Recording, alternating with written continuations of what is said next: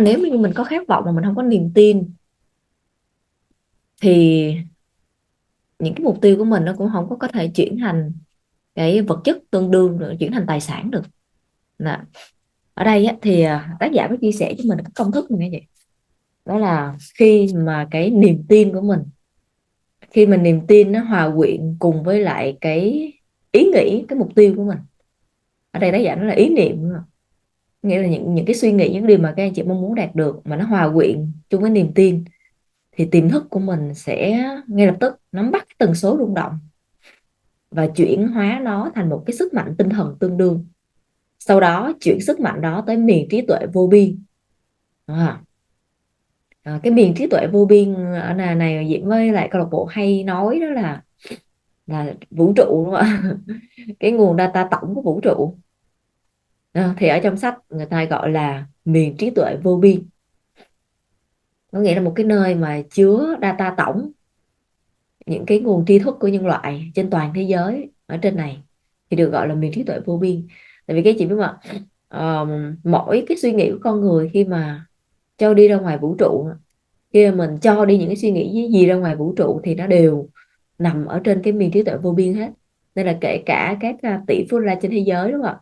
Những cái nhà vô địch những cái thiên tài đó là cái nhân loại thì cái trí tuệ của họ cũng nằm ở trong cái miền trí tuệ vô biên này. Và tất cả những cái gì mà mình mong muốn thì nó đều người những cái người trước đó các chị họ cũng đã làm được hết rồi. À, mình ở trong cái vũ trụ này nó có sẵn hết những cái câu trả lời mà mình cần. Quan trọng là mình phải biết cách thu hút những cái điều mà mình muốn những câu trả lời mình muốn những cái công thức mà mình muốn thu hút để mà mình có được câu trả lời thôi. Nên ở đây là tác giả đang chỉ cho mình cái cách để mà các anh chị có thể sử dụng được cái miền trí tuệ vô biên này để giúp cho mình có được cái à, gọi là, công thức, có được cái ý tưởng, có được những cái nguồn lực mà giúp cho mình đạt được mục tiêu. Phải các anh chị ha. Cảm xúc của niềm tin, cả cái cảm xúc của cái tình yêu là những cái cảm xúc mãnh liệt nhất trong số các cảm xúc tích cực của con người niềm tin và cái cảm xúc của cái tình yêu. Khi mà nó được hòa quyện những, những cái cảm xúc này á, nó sẽ ngay lập tức tác động vào trong tiềm thức của mình.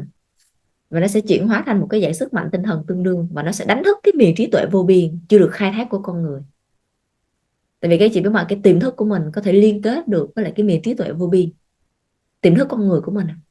Là liên, liên kết được với lại vũ trụ và sẽ cho mình mọi câu trả lời mình cần.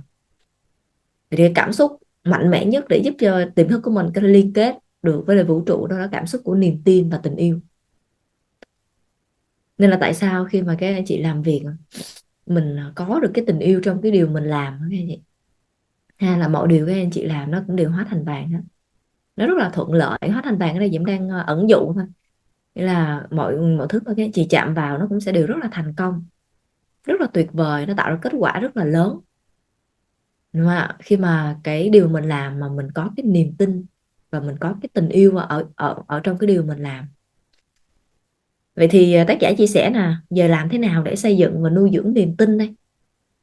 Chẳng hạn như trước giờ, vì mình không có biết cái điều này nên là thành ra là à, mình chưa được, có được những cái niềm tin vào những cái mục tiêu mà mình mong muốn.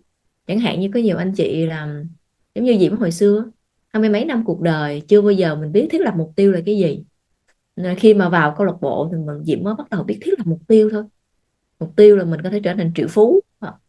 Mục tiêu là mình sở hữu, bất động sản, sở hữu ô tô. Mục tiêu mình có thể trở thành người có giá trị, truyền cảm hứng các thứ. Khi mà vào câu lạc bộ thì mới bắt đầu thiết lập những mục tiêu đó. Nên là thành ra là mình không có tin. Tại vì hồi trước đó có bao giờ mình làm được đâu trước đó làm gì làm cũng được hết trơn á, cái vậy. Làm gì mình làm cũng cũng không có tới nơi tới chốn, nó không có cái sự thành công. Nên thành ra khi mình bắt đầu mình đặt cho mình những cái những mục tiêu này là Diễm có tin tin là mình làm được. Tại lúc đó là Diễm nghĩ rằng là mình à, mình không có đủ tốt nè, mình không có đủ giỏi, mình không có khả năng, mình không có đủ kỹ năng, mình không có mối quan hệ và mình không có đủ tiền bạc rồi các thứ.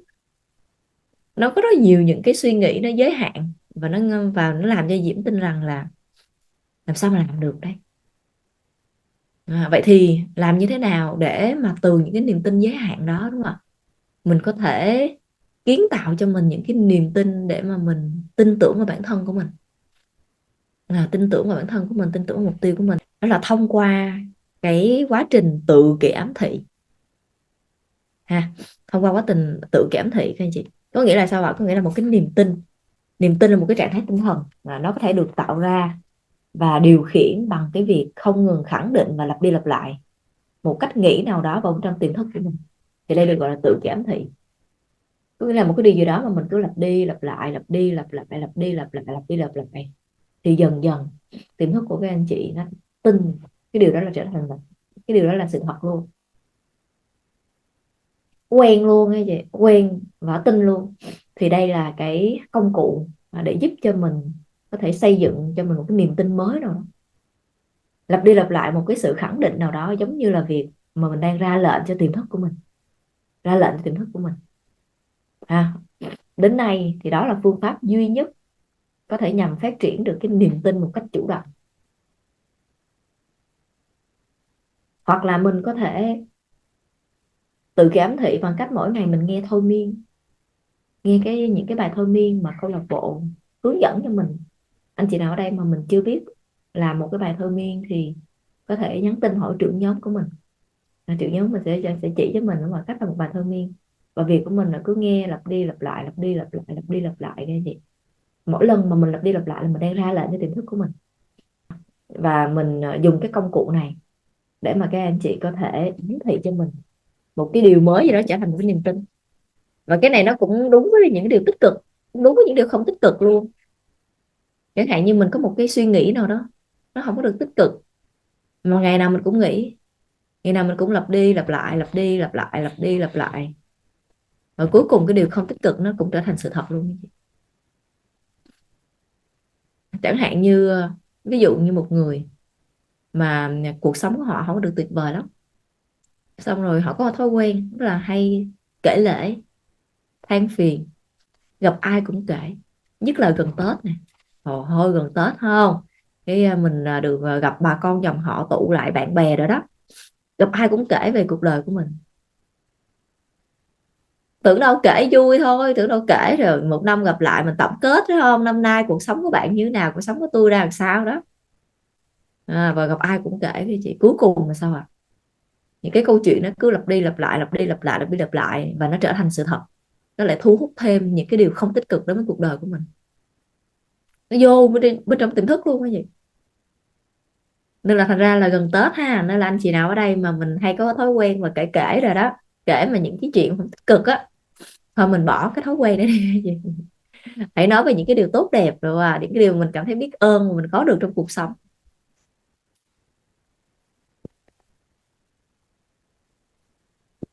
Niềm tin khi mà các anh chị à, lặp đi lặp lại nhiều lần đúng dạ vâng không? thì nó sẽ trở thành cái niềm tin. Và cái niềm tin này nó sẽ dẫn lối cho mình. Nó sẽ dẫn đường chỉ lối cho mình. Vạch ra một cái kế hoạch cụ thể để mà các anh chị có thể đạt được những điều mình mong muốn. Đầu tiên đó là mình chưa biết làm gì đâu. Mình, đầu tiên là mình chỉ biết được cái kết quả mình muốn thôi. Giống như diễm hồi xưa vậy trước khi mà vào câu lạc bộ thì mình rất là khao khát. Làm sao để mình có thể trở thành một triệu phú? Mục tiêu là trở thành triệu phú. Nhưng mà mình phải ờ, khỏe mạnh nha, phải hạnh phúc nha. Triệu phú không phải không phải là chỉ có tiền không, mà là phải khỏe mạnh, hạnh phúc. Trở thành con người có nhiều giá trị để mình có thể giúp đỡ cho nhiều người. Đó là mục tiêu. Lúc đó không có biết làm gì hết trơn. Hồi xưa, số cái điểm của Diễm là khi mà Diễm đi học ra trường xong thì mình đi làm thuê. Thuê thu nhập có 6 triệu 7 triệu, một tháng, có tháng 8 triệu. Thì làm sao mình biết con đường nào trở thành triệu phú? Thế là lúc đó Diễm biết về luật hấp dẫn đó các anh chị. Biết về cái công cụ là từ cái ám thị nè. Không? Cái mình bắt đầu là mình hình dung tưởng tượng mình sống như thế mình đã đạt được rồi. Mỗi ngày mình ghi vào Zalo để chế độ chỉ mình tôi luôn. Như thể đã đạt được rồi luôn nên điểm đó các chị là cái phương pháp đó những hướng dẫn hiệu quả lắm luôn. Ngày nào mình cũng tưởng tượng là mình đã đạt được cái điều đó rồi, đúng không? mình ghi đi lên tút xem lúc mà mình đạt được rồi thì mình sẽ ờ, viết những cái cảm nghĩ gì trên các trang mạng xã hội mỗi ngày sống như thế này được rồi luôn. Và từ mình cứ lặp đi lặp lại nhiều như vậy nó trở thành nó trở thành niềm tin. Từ cái niềm tin đó bắt đầu sao ạ? Vũ trụ đã thu hút cho Diễm tiến tới môi trường câu lạc bộ chạm đá vàng. À, dần dần thu hút những cái nguồn lực đến. À, và khi mà mình tham gia vào môi trường câu lạc bộ chạm đá vàng à, thì bắt đầu là đã cho Diễm một cái kế hoạch cụ thể. Dẫn dắt mình dẫn dắt từng bước từng bước từng bước nhưng mà và cuối cùng giúp cho Diễm đạt được mục tiêu. Nó hay lắm các chị nha, đó là bước đầu tiên, niềm tin.